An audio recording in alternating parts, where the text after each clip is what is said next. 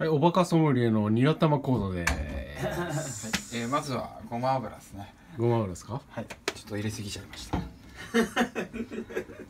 早速入れすぎてますね。はい。入れすぎましたね。ちょっと。はい。でまずは先に卵を入れます。先に卵？はい。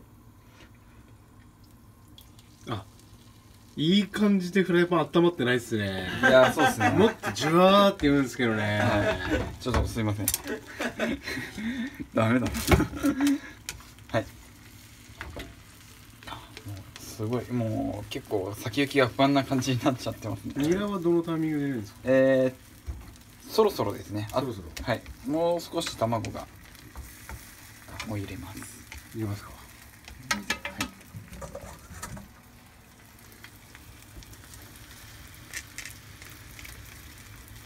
手際はい。い。です。ね持ち前もって準備をしてい。やもうそうっすね常に強火ですねはい。常に強火です強火ですか。はい。もう今強火ですマックスですバシバシってます調味料は調味料はですねえー、この後塩とはい。入れますであのはい。そうだちょっ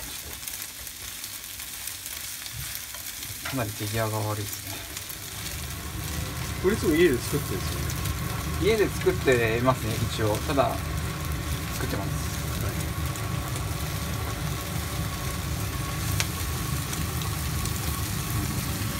火はマックスです。ね色合いはいいですよ。いい感じになってますね。あもう。岩塩。岩塩です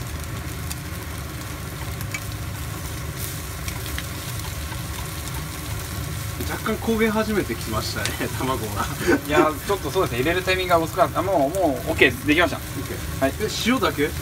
え？これで大丈夫です。いやもう僕はあわかりました。はい。これ。あめんつゆを入れます。めんつゆ。はい。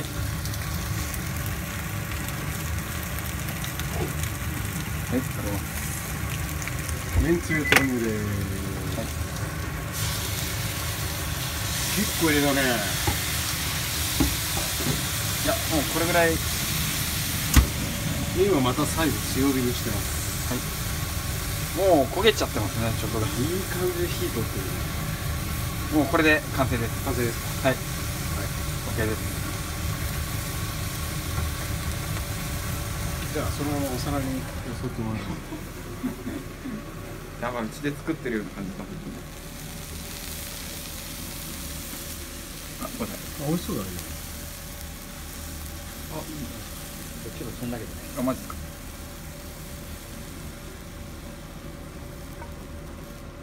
じゃあ味わいは島田君に今日テイスティングをしてもらうと。さっきとどっちが美味しかったか。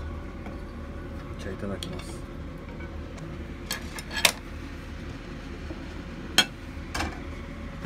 顔半分しか映さないですよ。はい。どうですか？